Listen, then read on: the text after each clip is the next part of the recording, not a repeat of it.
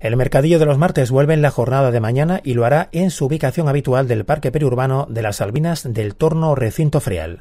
Para que esto sea posible, se han establecido una serie de medidas higiénicas y sanitarias que ya fueron anunciadas la pasada semana tras el encuentro mantenido entre la delegada municipal de mercado Pepa Vela y los representantes de los colectivos implicados como la Asociación del Mercado Ambulante del Bajo Guadalquivir, de la Asociación de Comerciantes Ambulantes de la provincia de Cádiz y de la Plataforma de Vendedores Ambulantes de Chiclana afectados por la COVID-19. Así pues, una de las principales medidas es la de ampliar el espacio destinado a los puestos que componen el mercadillo, ya que ahora habrá dos metros y medio entre un puesto y otro.